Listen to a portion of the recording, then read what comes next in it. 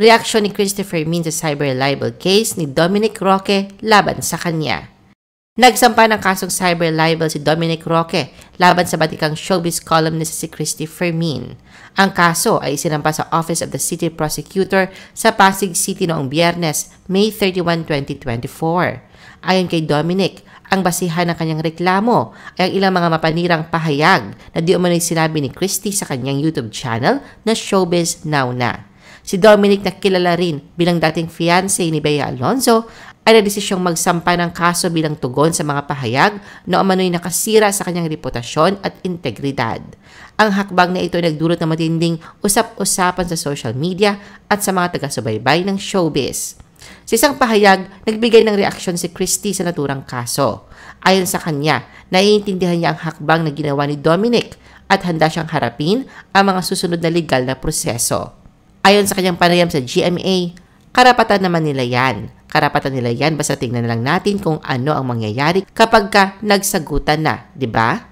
Binigyang diin pa ni Christine siya naghihintay lamang ng sampina na ipapadala sa kanya kauli ng kaso dahil wala pa o hindi pa rin niya natatanggap ang sampina mula sa kampo ni Bea at karapatan niya yon.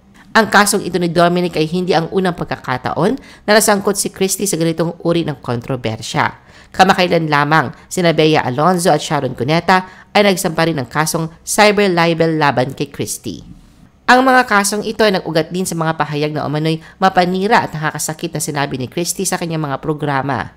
Sa kabila ng mga kasong kinakaharap, nananatiling matatag si Christie at patuloy na ipinagtatanggol ang kanyang karapatan sa malayang pamamahayag. Anya, bahagi ng kanyang trabaho bilang isang showbiz columnist ang magbigay ng opinyon at komento tungkol sa mga kilalang personalidad. Subalit aminado rin si Christy na may mga pagkakataon na ang kanyang mga pahayag ay nagiging sensitibo at nagdudulot ng alitan. Ang kasong cyber libel na isinampa ni Dominic laban kay Christy ay isang patunay na sa panahon ng digital age, ang mga pahayag sa social media at iba pang online platforms ay may kaakibat na responsibilidad at pananagutan. I-post ang inyong comments at reaction sa baba.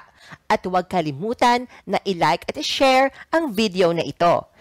Gusto mo pa ba ng ibang showbiz videos? Panoorin ang aming iba pang top viewed videos. Para sa aming mga YouTube viewers, pumunta lang sa description ng video na ito o i-click ang link sa itaas ng screen. Para naman sa mga Facebook viewers, ay maaari ninyong hanapin ang mga link sa comment section ng video. I-follow nyo din kami sa Facebook at mag-subscribe sa aming YouTube channel.